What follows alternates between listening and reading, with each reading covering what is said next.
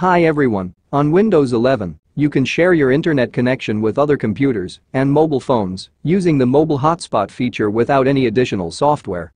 In this guide, we will show you the steps for sharing an internet connection using the mobile hotspot feature. On Windows 11, you can share an internet connection available through an Ethernet, Wi-Fi, or cellular data plan. However, the device must have at least one wireless network adapter that will function as the access point for other computers to connect. To create a Wi-Fi hotspot, open Start and select Settings. Click on Network and Internet. Click the mobile hotspot on the right side. Under the Properties section, click the Edit button.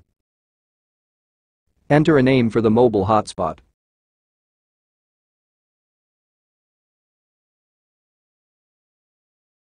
Create a password that other devices will use to access the connection.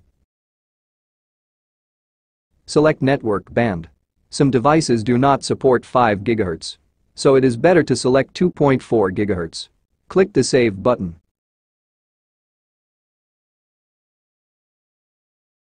Use the Share My Internet connection from setting and select the network adapter connected to the internet to share the connection. Turn on the mobile hotspot toggle switch to start sharing the internet. Turn on the power saving option to stop broadcasting when no devices are connected. Otherwise, the broadcasting will continue even if no device is connected.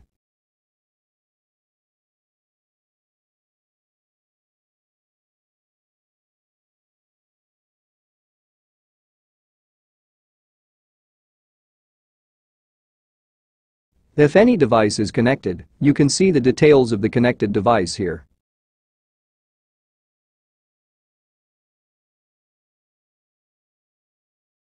I hope you like, thanks for watching the video.